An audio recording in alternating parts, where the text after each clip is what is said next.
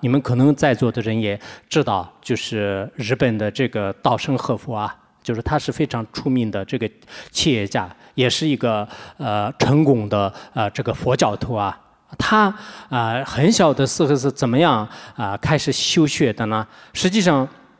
他他的一个叔叔就是得这个肺结核，在那个时候得肺结核的话呢，基本上现在的艾滋病和癌症一样的，就人们都没办法治，就是医疗还没有那么发达，就人们都叫做是老病，就是就他就病死的。那他的一个叔叔就是得这种病的时候，他的父亲和哥哥呢，就是就天天都是帮他，就是本来是这个肺结核是传染的，但是呢，他们就是会尽心尽力去帮他，而他自己呢特别害怕，就是害怕传染。然后天天的是这个东躲西藏，就是就就没有。结果就是到十三岁的时候一看，就是他的父亲和哥哥呢都没有染上这个病，自己呢已经染上了这个病。然后染上这个病之后呢。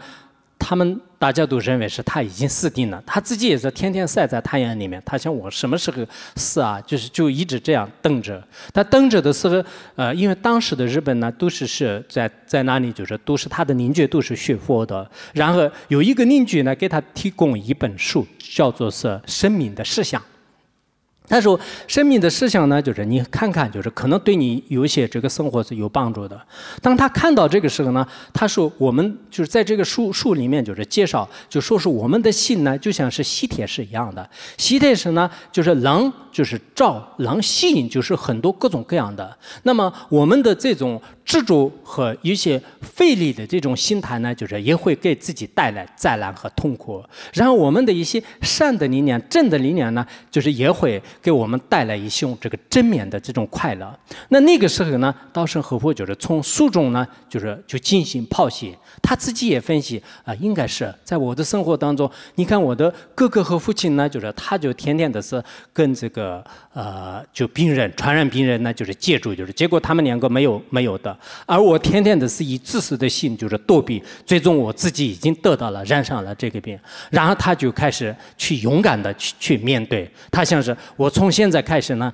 就放下自我。放下自己的一切，一定要去努力的想帮助别人。当他有这样的心态之后，过了两年以后呢，就是转变了心态，就是所有的这个肺结核呢不约而至，就是全部全部都没有了。从此之后，他的这个真正的这种学佛的这个经历呢，就是从十三岁就是开始依靠一本书。其实我们有时候人生呢，人生的转变呢，就是依靠一位很好的老师，依靠一本很好的书，依靠一个。短短的一些交流等等，有简短的语言呢，就是也可以会转变，就这是确实在历史上也也也会是会是有的。有些时候是可能一种痛苦，表面上看呢，啊，就这是我很不幸的事情，但实际上呢，对对你来讲是一种这个很好的机遇。就像那个金融啊，就金融啊，就是小说家，就是金融，就是他写的很多。不知道这边新加坡有没有印象？他跟那个呃车田大作的一个对话当中呢，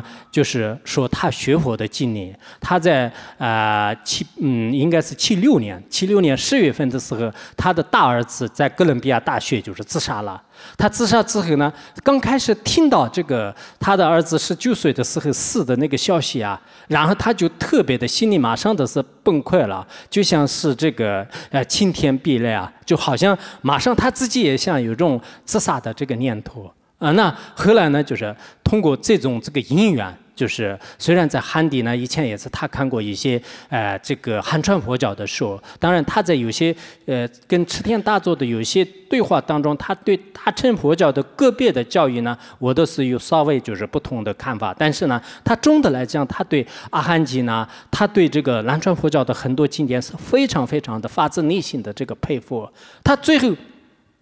他最后读着读着，就是这个大乘的很多的这个经典，小乘的很多经典，整个人生都完全都是改改变了啊！就是作为一个小说家，就是他跟你们方便的时候看看那个池田大作，池田大作也是是，他是非常这个了不起的，就是呃，就是当当代的，就是他跟那个嗯呃汤恩比博士也有个非常大的这个对话，就是其实在这个对话当中，我们现在很多年轻人呢，应该值得需要学习的。我们很多年轻人天天只是看电视啊、看游戏啊，天天都是玩啊、聊天啊、吃啊、喝啊，就是这不一定是人生的价值观。有些呃，有些所有的时间都是就是在吃吃一些小小事上面，就是就整天吃吃喝喝、吃吃喝喝喝，是不该学习的也不学习，该呃该这个努力的也不努力。呃，尤其是要很多有价值的，将来要面对生活的时候，先寻找方法很重要的。我们每一个人肯定会是。有自己的人生，就是会体现自己的梦想。但是这种梦想呢，到底你做噩梦还是做善梦，就是靠你靠你自己。也许你做的噩梦的话呢，在人生经历当中它更有价值。